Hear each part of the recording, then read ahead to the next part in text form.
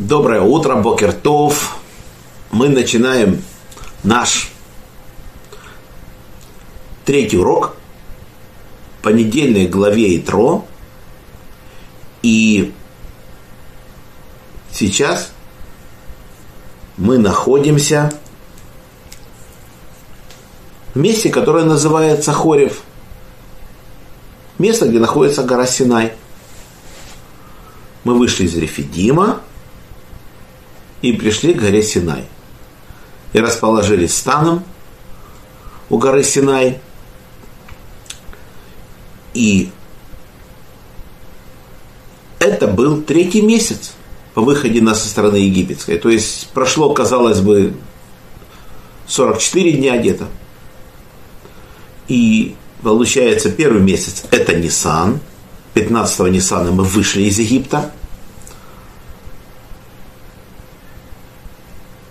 Потом у нас начался месяц Ияр, весь Ияр мы уже идем в пустыне. И вот наступил третий месяц, месяц называется Сиван, и мы находимся у горы Синай.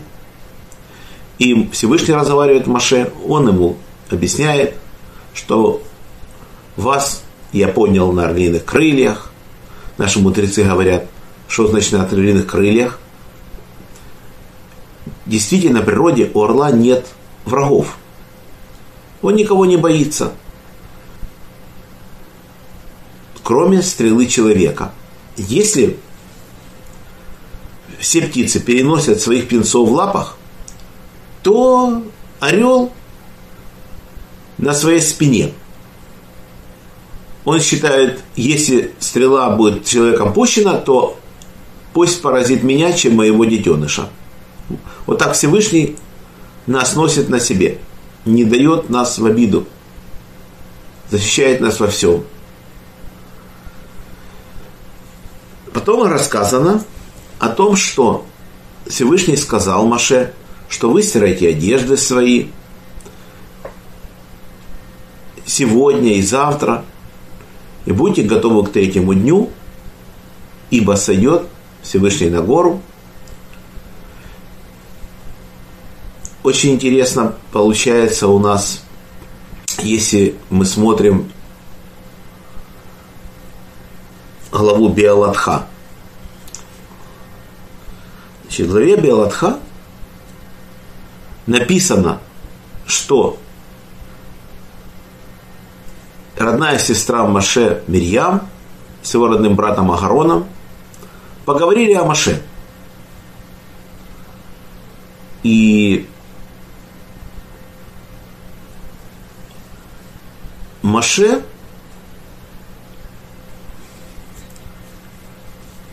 казалось бы, что-то не так делает. Говорили не по поводу кушитки, которую взял Маше. Всевышний тогда Аарона и Мирьям поставил на место – Дело в том, что Мирьям считала, что Маше что-то не так делает. Она встретила Цепору, жену Маше, и сказала, какая ты красивая Цепора, и она к этому не сильно обрадовалась. Мирьям из этого поняла, что Маше не спит своей женой. И она пошла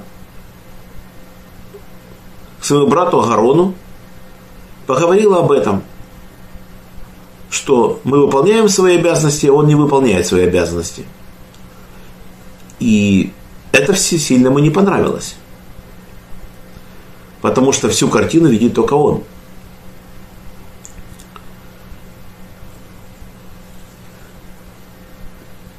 если бы он был в чем-то виноват, то это было совсем другое дело. Если бы Мирьям пришла к Маше и все, что считала нужным, сказала, все было бы прекрасно. Равис Хазливер говорит, что все было правильно. Вот так она обсудила с третьим лицом, то она, не, то она заслужила наказание. Всевышний ее поразил проказой за это. Это была очень большая ошибка. И Агарон за то, что ее выслушал, тоже был мгновенной проказой покрыт. Потом Всевышний ее сразу убрал, чтобы не позорить первосвященника. Дело в том, что, да, для обычного человека, если возникают какие-то проблемы, человек идет к раввину и может с ним беседовать на любую тему, какая бы она ни была. В данном случае Мирьям тоже так сделала. Она пошла к раввину, он самый главный раввин страны, он первосвященник, и мало того, что он родной брат, и Маше ее, то есть, в принципе, это в своей семье, казалось бы, ничего они такого плохого не сделали. Но нет, Всевышний счел, что это злоязычие. Это лошонара, это то, что делать нельзя. На самом деле, Маше действительно не спал с женой, у него и выхода не было. Потому что написано, будьте готовы к третьему дню, не приближайтесь к женщине. Значит, когда мы общаемся со Всевышним, то к женщине нельзя прикасаться. Как минимум два дня. Маша вообще сказал людям три дня. Так считают наши мудрецы. Он даже сделал ограду, чтобы никто ничего не перепутал. А Маше все годы разговаривал со Всевышним, в любой момент мог разговаривать, заходить в шатер откровения, который будет построен, вообще общался с ним. И поэтому, поэтому он просто не мог себе это позволить. Поэтому Мирьям и Агарон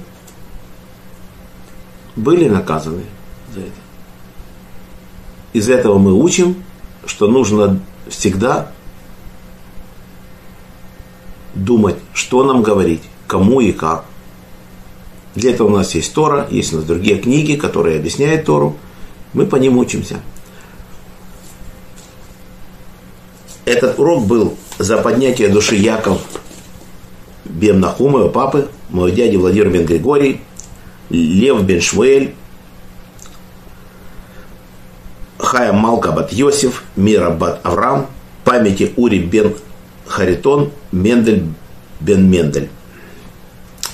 За здоровье Светлана бат Клара, Анна бат Ривка, Полина Перл бат Соня Сура, Женя бат Ида, Моша бен Рая, Ида Броха бат Сара, Анна бат Елена, Евгений бен Софья, Двойра бат Мира, Моисей бен Ева, Ирина бат Двойра, Инесса бат Маэль, Евгений бет Берл, Евгений бат Ита, и за хороший же дух Арона Ре бен Двойра. Всем всего самого наилучшего. До новых встреч!